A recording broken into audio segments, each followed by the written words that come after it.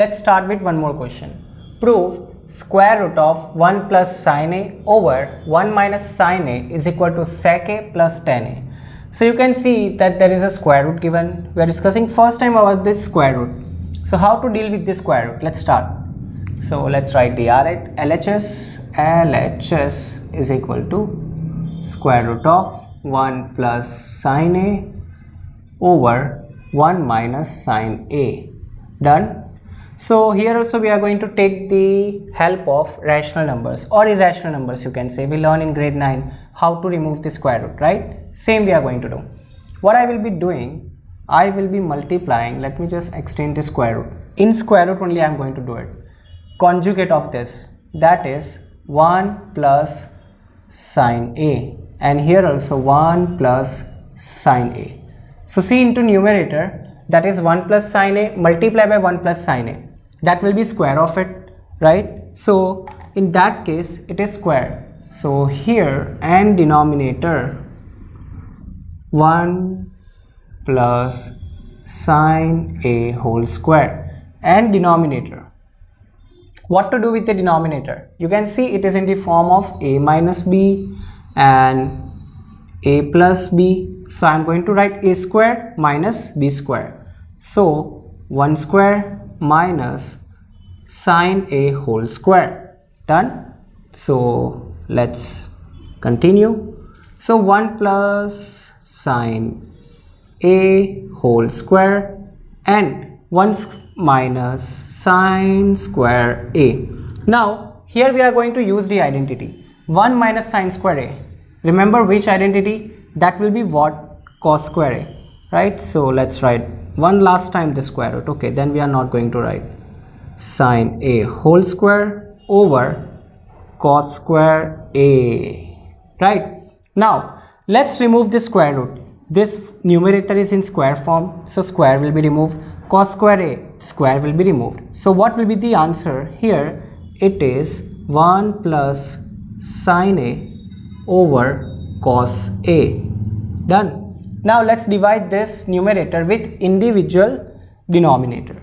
So 1 over cos A plus sine A over cos A. So 1 upon cos A is what? Sec A reciprocal ratios and sine A over cos A is what? Tan A. That is my RHS. Simple, right? So square root we removed first of all right with the conjugate 1 plus sine a 1 plus sine it is square in numerator and in denominator it is identity which is a square minus b square. Then simplified we know that sine square a plus cos square a is equal to 1 so i have substituted the value here 1 minus sine square a by cos square a.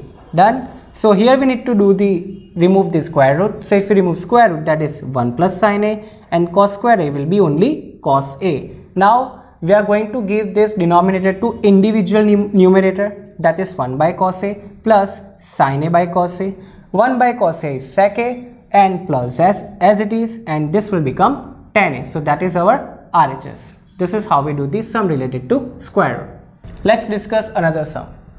Prove that sine theta minus 2 sine cube theta over 2 cos cube theta minus cos theta is equal to tan theta.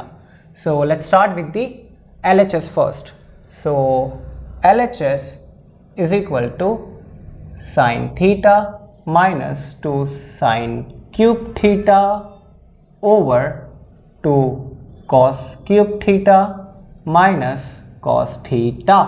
So what I'm going to do first of all I'm going to take common sine theta is here, sine cube theta is over here, cos cube theta is here and cos theta is here. So in numerator I am going to take sine theta common. So what's left? If this whole term is coming out, there will be 1, then minus 2 as it is because numbers we are not taking common.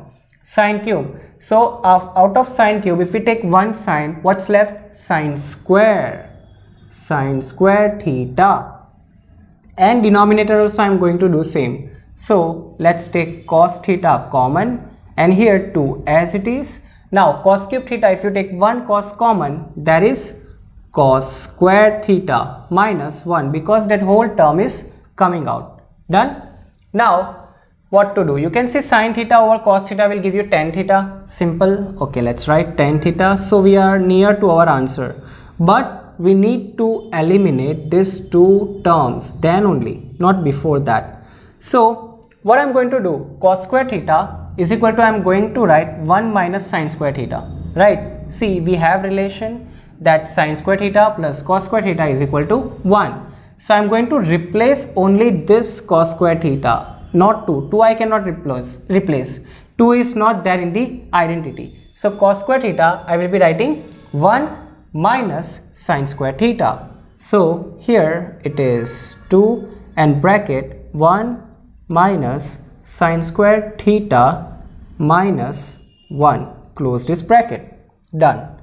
So numerator as it is and here 1 minus 2 sine square theta done here let's multiply this 2 with each term 2 into 1 will be 2 minus 2 into sine square theta will be 2 sine square theta minus 1 now see there is 2 over here and minus 1 so 2 minus 1 will be 1 so 10 tan theta into 1 minus 2 sine square theta okay? And denominator 2 minus 1 is what? 1 minus 2 sine square theta now see 1 minus 2 sine square theta 1 minus 2 sine square theta I told you that we need to remove these two terms then our answer is already there so this will get cancelled and this term as well so what's left only which is tan theta and that is our RHS let's recall how we did it